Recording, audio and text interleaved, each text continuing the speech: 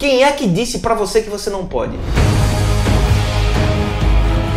muito provavelmente foi você mesmo. Se você pode dizer para você que você não pode, da mesma forma você pode dizer para si mesmo que pode. Sempre que você desiste de algo, é um futuro que você abandona. As crenças limitantes que você tem pode estar tá te privando de um futuro brilhante. O fato de você ter certas crenças limitantes não deixam nem você começar a tentar novos projetos, nem tentar novas mudanças em sua vida. O grande problema é quando as crenças limitantes se enquadram num, num perfil de sentimento muito mais forte, que entra na parte das convicções. Convicções são quase como se fossem ordens supremas que atuam sobre você, tanto para dizer que você pode, quanto para dizer que você não pode determinada coisa.